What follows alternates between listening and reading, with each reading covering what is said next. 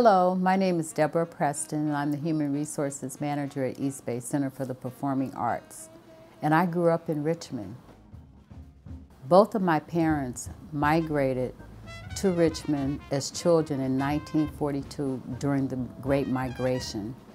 East Bay Center has been a beacon of hope for over 50 years for 50,000 local youth from all walks of life. I am truly honored to be a part of an organization that supports and encourages social justice, equality, hard work, and creativity for the youth of Richmond. In celebration of Black History Month, we'd like to introduce you to some of the incredible black artists we have at East Bay Center. In addition to being renowned artists, they are also giving back to the community by sharing their talent with our young people and teaching the next generation of artists. We hope you enjoy them. My name is Francis Kofi Akotua, and I am from Ghana. From the age 10 up to now, I do focus on uh, you know, drumming, singing. Kids need uh, music in their lives. Uh, at some point of time, you know, they need a little break to, you know, to experience something uh, new. They love it. So I get up and dance with them. I, I set example, you know. I dance, sometimes they, they, they, laugh at me, but I know they're not laughing because, you know, it's funny, but they, they you know, they're happy that I get up and dance. So I, I first set example for them and then they follow the path. Down, up, down, up, and pe, pe, pe, pe, pe, and one. That's how, I, that's how, you know, I win their, their heart.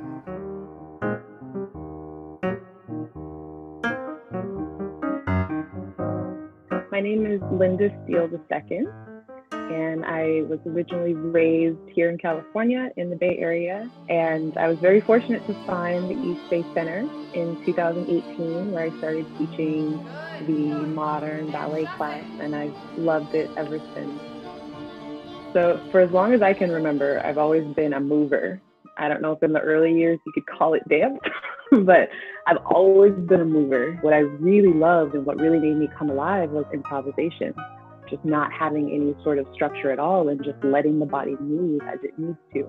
Like I always say, I'm an improvisational dance artist because I've always nurtured that voice, that artistic freedom that I've always felt inside of myself to just really move and to be provoked by whatever is building or collecting or or churning inside of me. The biggest part of teaching from my teaching experience has always been to create an environment where the student feels like they have the freedom to investigate. And then you let them loose and let them find their artistic voice, let them find the way their body connects with certain things.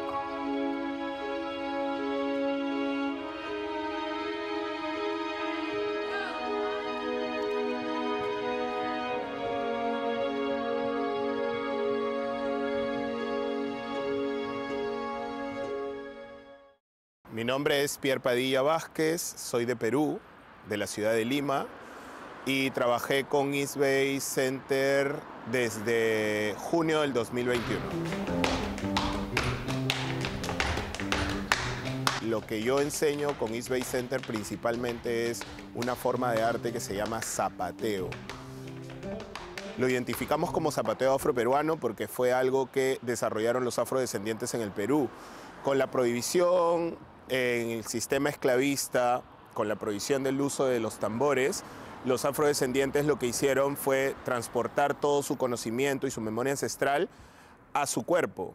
Entonces, así nace el zapateo afroperuano, ¿no? Como una manera de mantener viva la memoria ancestral y de mantener vivas estas tradiciones que se conjugan en el Perú.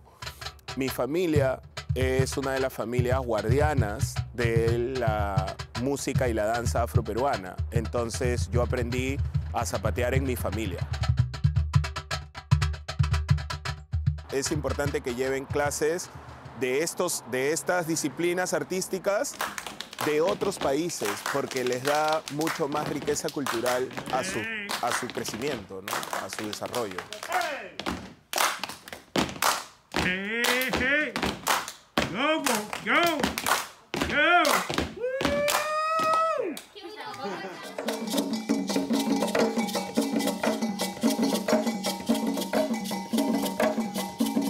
Name is Philip. I'm from Japan. I'm originally from Ghana, and I've been teaching at the East Bay Center for the Performing Arts since 2016. I teach dance. Um, I got very interested in dance at the University of Ghana when I was in my third year.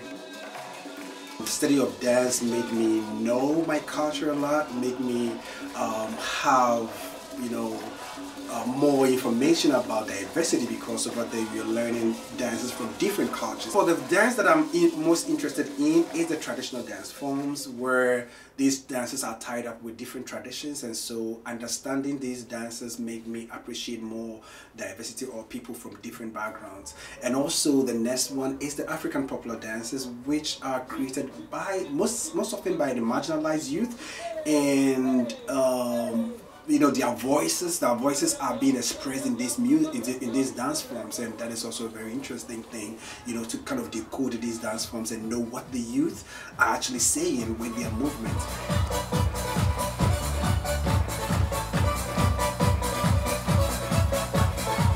meeting people from different places actually enriches you because then you learn from them. So though i'm teaching these kids who are from different you know cultural backgrounds in different spaces uh, meeting together and sharing that dance and hearing from them and you know expressing their sentiment through dance uh, it's a great feel to me. And it shows that there is a future you know especially when we're able to link up and, and respect each other's diversity in the art forms or wherever occupation that we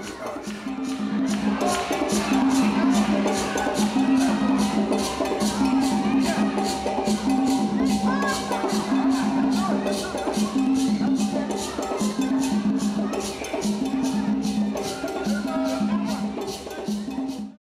my name is Miss Carter, and I'm from Brooklyn, New York, and I've been teaching at the center for around 25 years.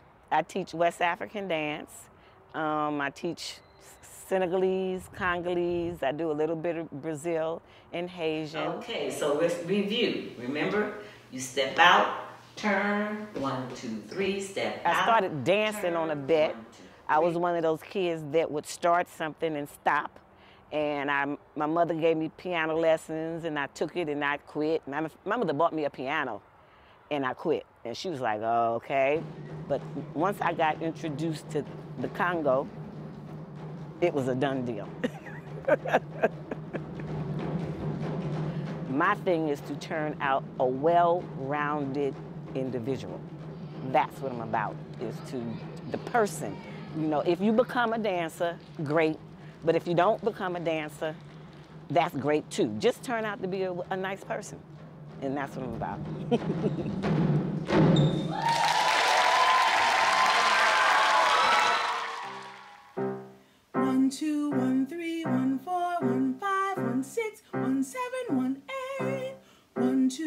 is Valerie Troutt, and I'm from Oakland, California.